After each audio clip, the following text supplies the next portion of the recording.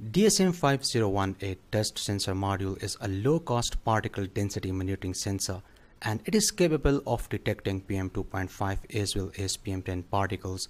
Supply voltage is 5 volts. Power consumption is 90 milliamps. Operating temperature range is from minus 10 to plus 65 degrees Celsius.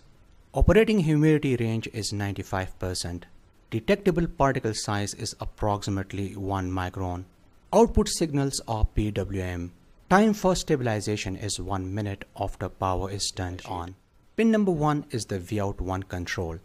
Pin number 2 is the Vout2 output PWM. Pin number 3 is the VCC.